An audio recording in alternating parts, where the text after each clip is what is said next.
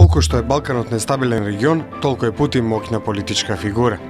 Или како што вели Гари Каспаров, поранешниот шаховски велемајстор и сегашен политички противник на рускиот председател, Путин е најопасниот човек на светот.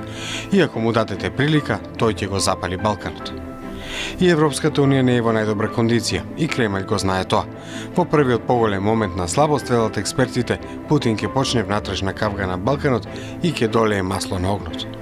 Во Црна Гора се обиде со државен удар, близок е со Србија, неговите олигарси се се повлијателни во Хрватска, во Македонија дури има и партија како неговата. Што е следно од Кремљ, проверете на слободневропа.мк.